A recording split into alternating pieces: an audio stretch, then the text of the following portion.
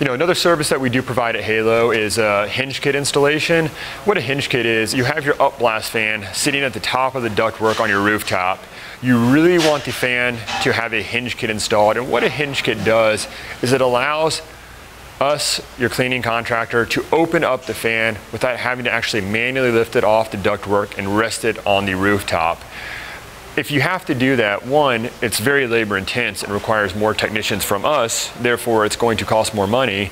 But more importantly than that is having it on a hinge kit allows us to raise the fan up with one technician and it rests on this hinge and mitigates the risk of damaging the fan.